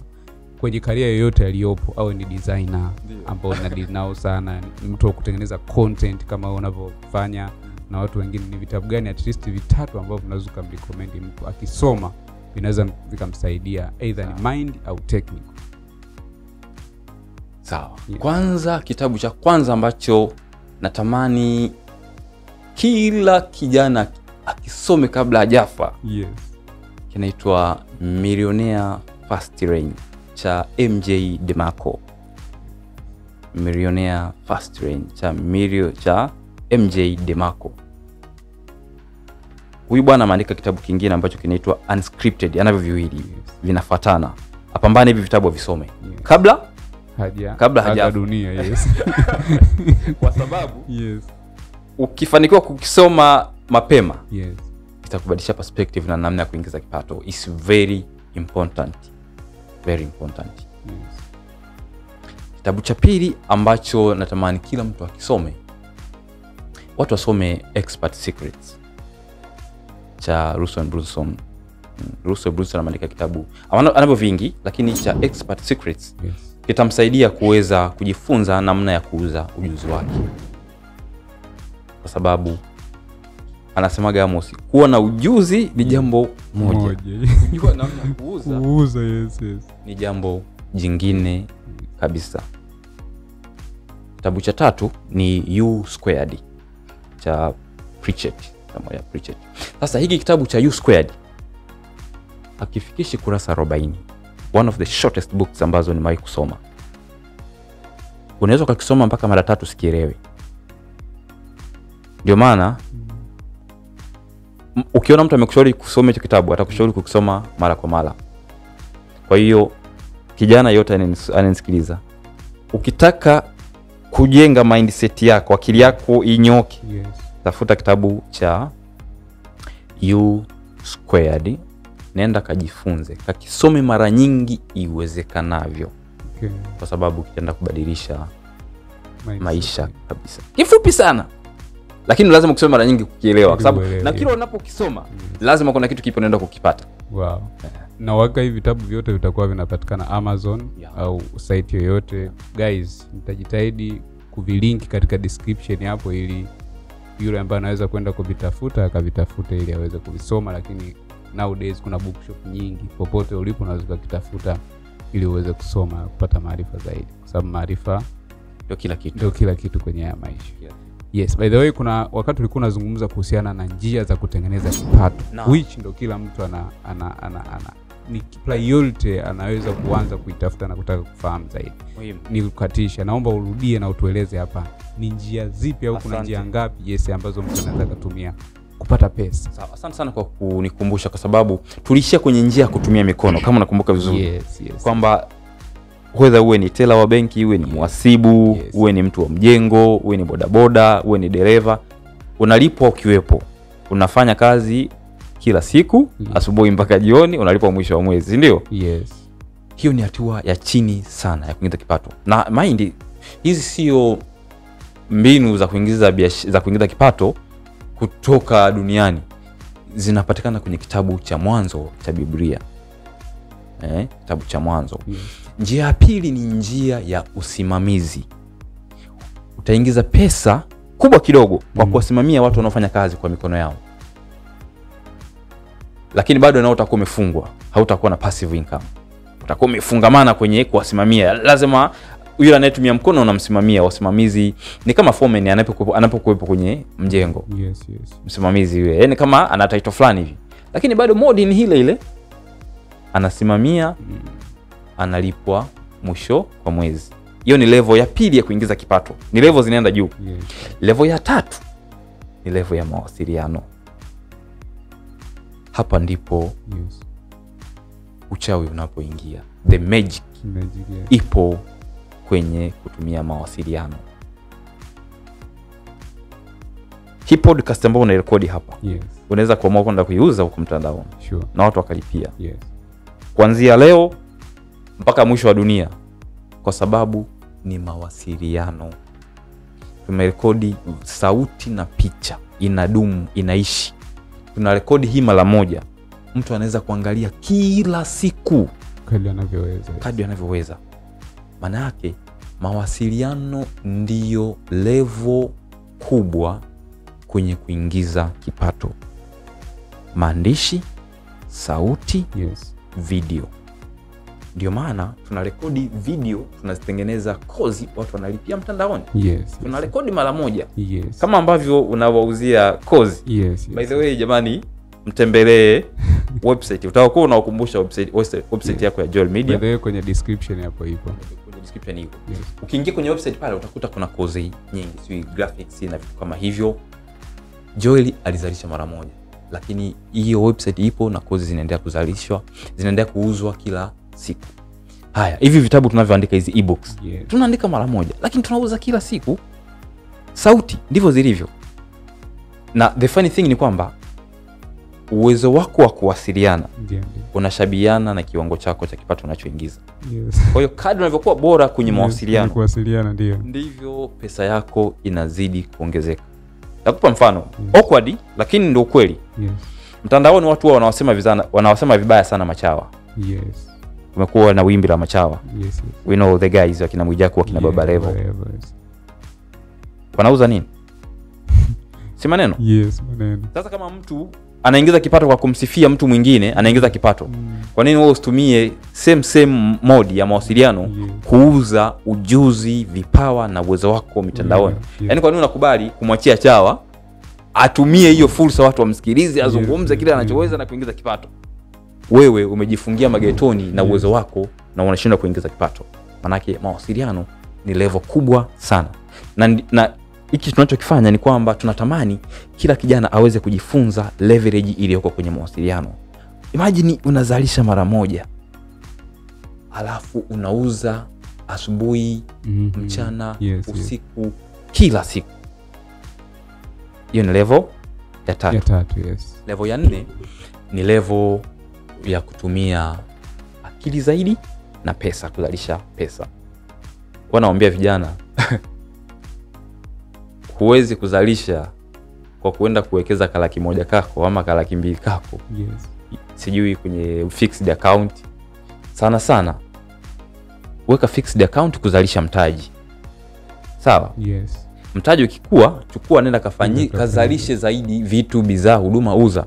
Then pesa ikiwa mob. Yes. Sasa nenda kaweke kwenye fixed account peleka utt nunua hisa nunua bondi tia milioni mia pale Mm. tia hamsini tia milioni mia mbili ukipata gawio ukipata faida inashikika Inakuwa nzuri yes. inakuwa nzuri lakini unaweza kusema hii tuna laki moja unaenda kuwekeza kwenye fixed account my friend unawekeza kweli au mchezo kwa hiyo kwenye levo ya kujitafuta yes, yes. uh, vijana wasi, wasi, wasi, wasikengeuke na hii kusevu ni muhimu na ni lazima kuweza Yes. kupata kama unatafuta mtaji Yes. lakini itunza hiyo fedha vizuri izalishe na pesa ikiwa nyingi sasa Yes. inakupa wewe leverage ya kutumia pesa Yes. kuzalisha pesa, pesa. yes na sasa hizo zingine ni kama sasa namna ya kutumia vitu vya kufikiria zaidi ideas ambazo ni kubwa za kuweza kuwafikia watu wengi sana na kuweza kuingiza kipato ndio maana nasema level kubwa kabisa ni ya kufikiria na kutumia pesa kuzalisha pesa ndio maana mnaweza kuwa na idea mkamtafuta mtu mwenye wazifa mwenye pesa akatia mzigo yeah. mambo yakaendelea. Kwa sababu yeah. hiyo ndio leverage kubwa zaidi ya juu. Kwa hizi ndio levo Mm. kwa hiyo namaliza kwa kusemaje? Tuepuke sana sana sana kufa tukiwa tunaingiza kipato kwa njia ya kutumia mikono na usimamizi. Tujitahidi kuwa tumehamia levo ya mawasiliano na tukiukamata ukwasi wa kutosha yes. tutumie pesa kuzalisha pesa. Wow guys hizo hizo ni level nne za kuweza yes kutengeneza kipato. I hope zitakuwa zimewasaidia kwa kiasi kikubwa. So wakati tunamalizia malizia kozi uh, kozi unaofundisha vitu unavyofanya kwenye mtandao is definitely vinahusiana na hili swali linalofata artificial intelligence no. ina athari kwa kiasi gani kwenye maswala haya ya content pamoja na teknolojia kwa sasa okay Yes. athari kuna positive na yes, negative na- yes. nataka uhighlight tuanze kwanza yes. na negative yes. watu wengi itawaondoa kazini hilo hatulikatai yaani kama unaingia kwenye website unaiambia chatgpt Yes. kuandikie barua inakuandikia barua iliyonyooka unaiambia ikuandikie kopi inakuandikia kopi iliyonyooka unaiambia unaenda kwenye mitandao unaambia sio kutolee picha na kutolea picha. Unaiambia kutolee video na kutolea video na sauti na kila kitu. Yes. manake hiyo ni kitu cha hatari sana. Yes, yes. sasa hiyo ndo threat manake kuna baadhi ya watu lazima watakuwa displaced sasa tunawezaje kuishi na hiki kitu? Kwa sababu teknolojia huwezi kuikimbia. Yes. ikishaingia yani tunaenda mbele tu. Tunachowaza sasa itakuja ipi ambayo ni more sophisticated? Yes. manake tunatakiwa kuanza kujifunza namna ya kuishi nayo na kunufaika nayo. Ndio the only solution. Kama kipindi kile polepole wakati wa korona alivyosema hii korona sisi hatutaikimbia? Tumeikaribisha Yes, kuishi nayo hatuta- yes. maisha yaendelee. Yes, ndivyo ambavyo tunatakiwa kufanya na artificial intelligence. Yes. kuiogopa. Wala mtu ambaye inamgusa moja kwa moja awezi kusema kwamba sasa mimi imenitoa kwenye leli Mm. yeye anatakiwa kujifunza kufanya alichokuwa nakifanya kwa kuitumia kwa mfano yes. ni mtu wa ni mpiga picha unajiuliza kwenye kupiga picha unawezaje kuitumia artificial intelligence kupata picha bora zaidi Yes. kwenye video production nawezaje kuitumia hii kuweza kurahisisha zaidi yes. na kupata picha bora zaidi kwenye video Yes. kwenye uandishi vile vile tunaandika sana hizi makara na nini na vitu kama hivyo kopi moja amos ukimsikia na kueleza namna kuiandika kopi Yes. nafikirisha sana lakini unaweza ukachukua prompt ukaiweka mtandaoni ikakupa copy. Yes. kwa hiyo ni namna gani unatumia artificial intelligence kuzalisha makala na copy nzuri alafu na wewe kutumia muda mfupi kuweza kuzifanya ziwe na human sense na Yes. human touch Yes. ili ziweze kufanya kwa hiyo ni kweli watu wanapoteza ajira lakini Yes. the best thing we can do ni kujifunza namna ya kuzitumia ili kuweza kuzalisha zaidi kwa kutumia nguvu kidogo Wow. Um, that's amazing. Of course hatuwezi kuikimbia, teknoloji ipo, AI zipo zinatusaidia. Ziko nyingi by the way, tunatumia ChatGPT moja ya AI ambayo ni maarufu sana na watu wengi wanatumia, lakini kwa watu wa video kuna moja ambayo kwangu ni favorite na nitakuambia na wewe kwa sababu unatengeneza video. Kama utabahatika kukutana nayo, nitakushare na wewe link. Inaitwa Firecut. Yes, Firecut ni amazing AI ambayo ni compatible na Adobe Premiere Pro ambayo inakusaidia wewe podcast kama hii tunayofanya. Tukishamaliza hapa, mimi naiingiza kwenye timeline, inasaidia kukata shoti zote. Sehemu inayozungumza mimi nitaonekana mimi, sehemu unayozungumza wewe utaonekana wewe within a second. sio kwamba kama nitafanya kukutana nayo nenda kutafuta yes kwa hiyo inanisaidia kutengeneza caption na nilichopenda Firecut ni amazing sana inaelewa kiswahili kuliko ai nyingi ambazo nimekutana nazo. Yes. Amazing. Unaweza kutafsiri. Sana ku, ku, ku, Ni- ni- Kiswahili. Ina, ina capture kwenye ki, ina capture kwenye Kiswahili kwenye Kiingereza tu. yes kwenye Kiingereza. lakini hii ni the best. Iko kabisa swahili language pale na wanajitahidi a lot na kila siku wanafanya improvement. Wonderful. add b-roll kwa mfano ume mm -hmm. shoot video yako ya dakika Unaongeza kitu ishirini kingine. unataka uweke videos juu ina uwezo wa kufanyia hivyo yenyewe inapandisha video juu then una edit.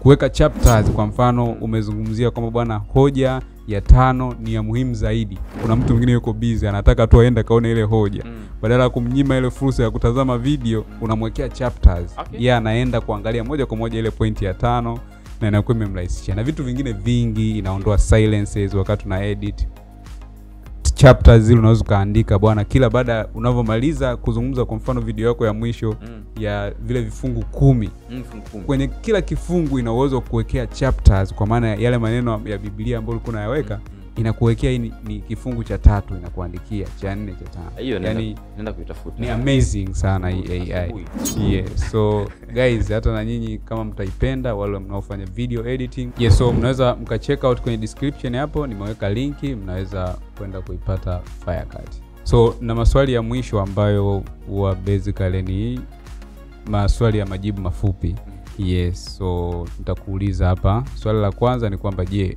wewe kwako kipi ambacho ni kizuri wakati wa kujifunza? Ni coaching program au unapenda self learning interesting.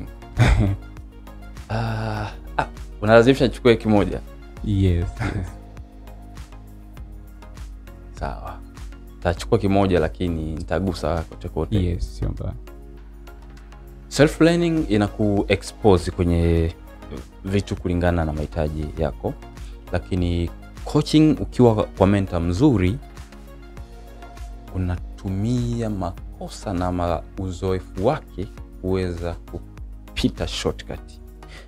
Na hiyo ndio maana harisi ya kumtumia coach ama menta yaani yeye ameshapita msoto amefanya makosa mengi. Kwa hiyo wewe utaenda kuavoid makosa yote ambayo umeyafanya kwa kutumia uzoefu wake na kupita shoti katika mafanikio. Kwa hiyo I'll go with coaching. Wow. Yes hiyo kupunguza time na yeah. ile shortcut ikusaidia kabisa. Then uh, ni, ni kipi ambacho wewe unaona ni rahisi zaidi kujifunza? Na nowadays kuna njia nyingi za kujifunza. Mm. unaweza ukasoma unaweza ukatazama unaweza ukasikiliza audio. Mm. kati ya kusoma na kutazama which is most uh, inakufavor zaidi na unaenjoy? hii ni balaa Ni swali ni swali it's interesting kwa sababu yes, binadamu ubongo wetu unajifunza kwa picha yes. binadamu ubongo wetu unajifunza kwa picha kuna wakati ni rahisi kujifunza kwenye maandishi lakini kwenye video inaweza kuwa ni bora zaidi kwa sababu unapata sauti picha yes. lakini pia hisia za mzungumzaji unajua sentensi moja unaweza kuizungumza kwa namna tano tofauti sasa yeah. ukitumia video inakuwa more interesting japokuwa naelewa yeah. kuna watu wengi wangependa kuwa na maandishi ili pesi ya video isiwasumbue yes. kwa hiyo as long as unaweza kupunguza pesi ama ukarudi video ni more interesting kujifunza kupitia okay. Mm.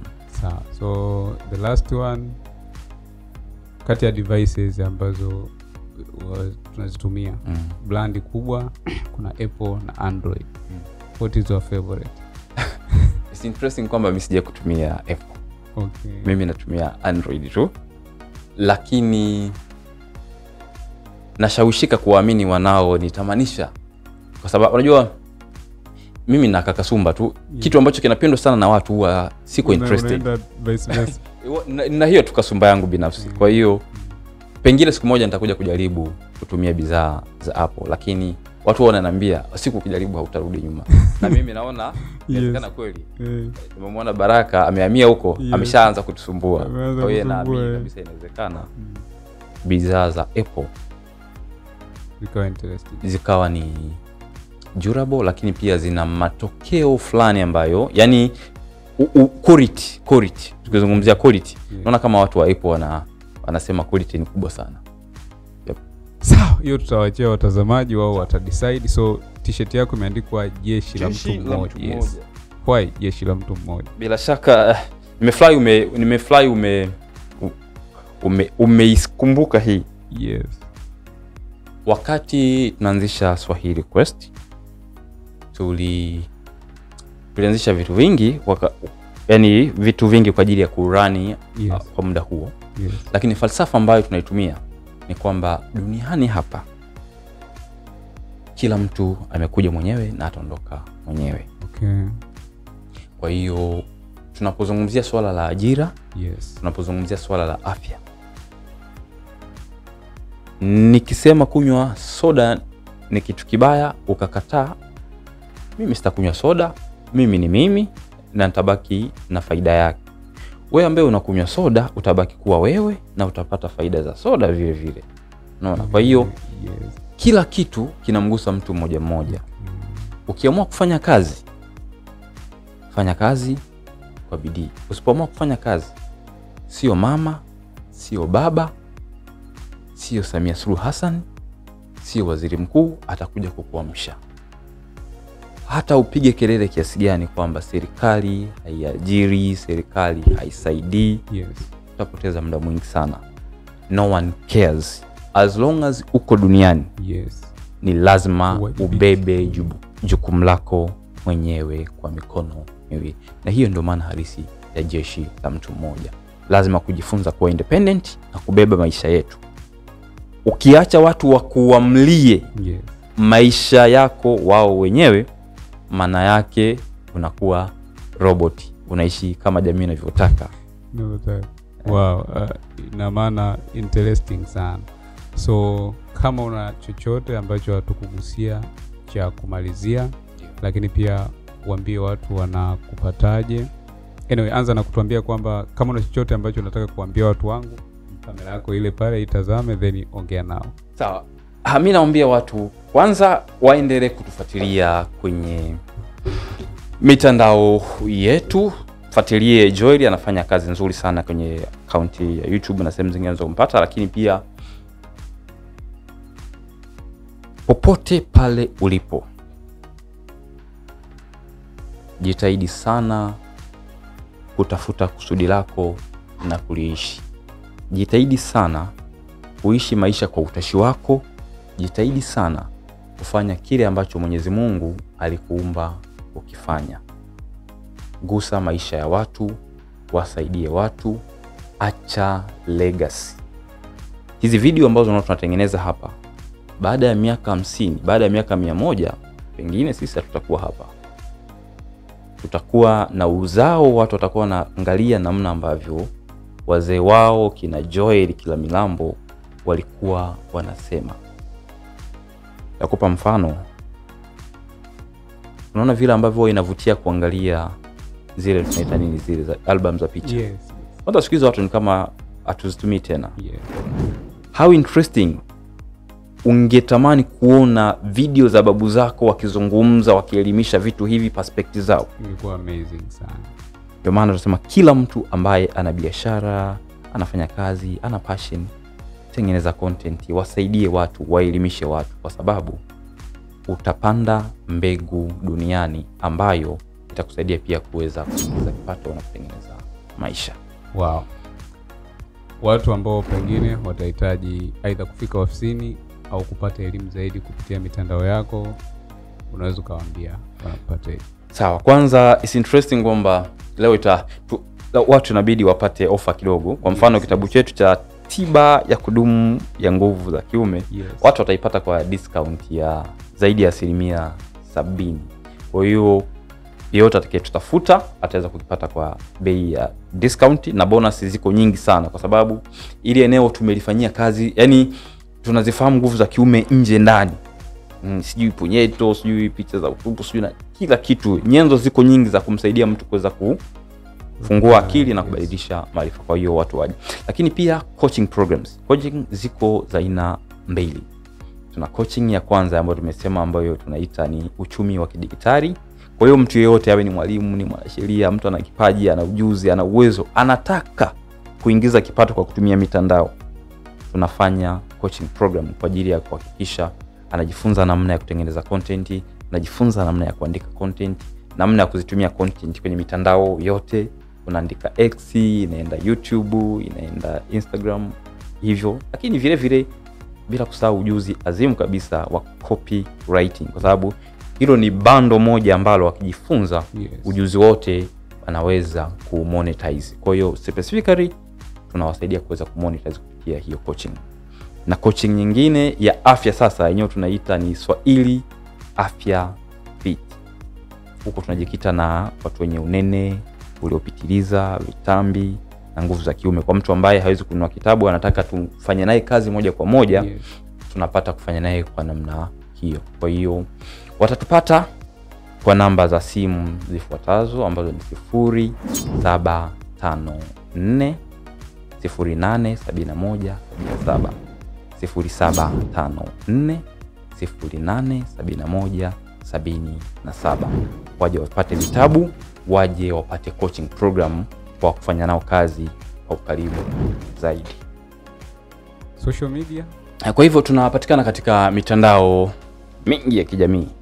Kwanza kabisa tuna chaneli yetu ya swahili quest ambayo ipo youtube ambayo mje msubscribe mle madini ya kutosha. Jina ni endo yake tu ni swahili quest. Binafsi natumia sana mtandao wa x kwa endo yangu binafsi ya milambo underscore. Ukiandika milambo underscore unipata, lakini huko huko x tuna channel ya uh, swahili quest ambayo inapatikana kwa swahili quest underscore. Tiktok tunapatikana kwa swahili quest underscore the same.